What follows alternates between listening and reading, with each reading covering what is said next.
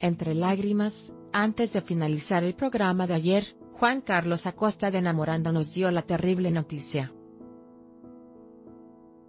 El sexólogo del programa dijo que está en un proceso difícil, pues hace meses le detectaron la enfermedad lupus. Hace algunos meses me detectaron una enfermedad llamada lupus. Es una enfermedad muy cruel porque es una enfermedad en donde tus defensas atacan a tus órganos. No ha sido nada fácil para mí ese proceso, de hecho ha sido muy complicado. Tomado del brazo de la conductora Carmen Muñoz, dijo que ha tratado de mantenerse fuerte frente a las cámaras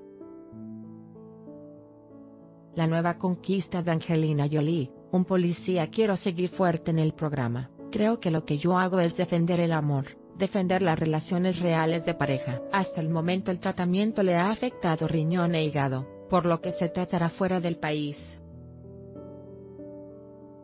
Estoy en un tratamiento que me ayuda, pero me lastima, es un tratamiento que me duele mucho, me hace sentir bien, pero a la vez mis dolores no se me quitan al 100%.